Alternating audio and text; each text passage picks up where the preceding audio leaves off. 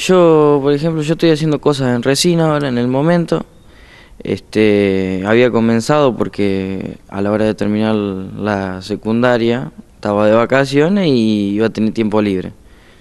Así que bueno, y comencé porque lo, vi cómo, cómo, se, cómo se manejaba, me gustaba verlo, me gustaba...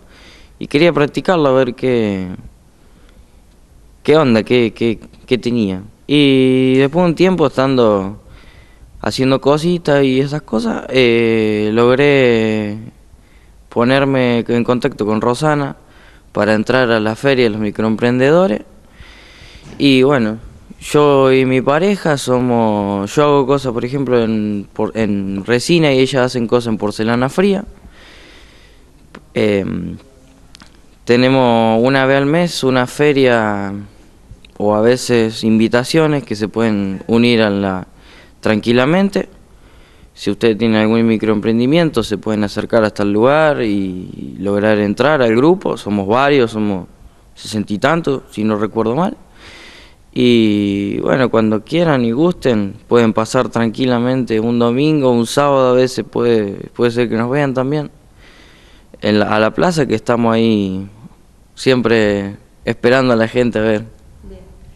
Eh, me decías que te gustó ver el, cómo se manejaba la resina y demás, de cómo te capacitaste, después cómo decidiste qué producir. Yo me capacité mirando videos, para decirlo así, en YouTube, porque los cursos en ese momento no había y yo lo quería comenzar para hacer en, las vacaciones de verano.